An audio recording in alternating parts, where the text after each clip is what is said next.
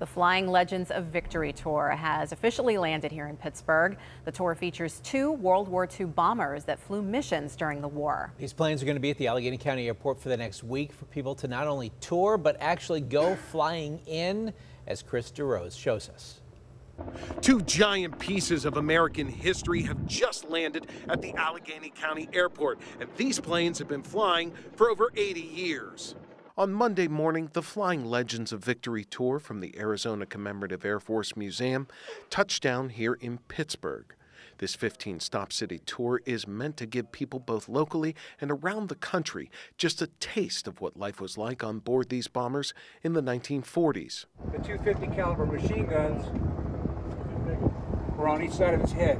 This tour features two planes, both of which saw action during the war.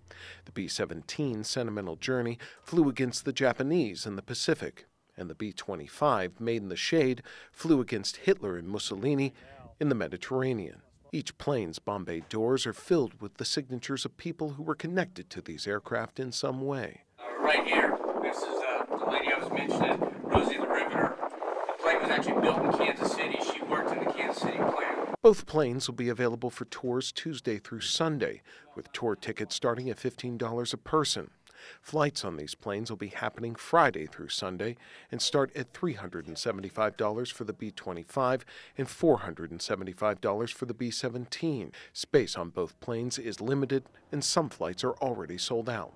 It's a great opportunity to show these airplanes to the, to the younger generation, so to speak. And what we really want to do is honor the services of those that generation, but also honor the people who serve, have served, and are serving currently.